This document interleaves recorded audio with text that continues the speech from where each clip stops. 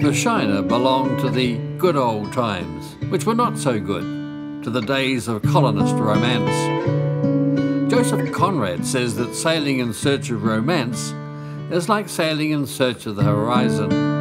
Romance never exists in the moment of life, but lies to the rear, in the days when we did, or ahead in the days when we shall.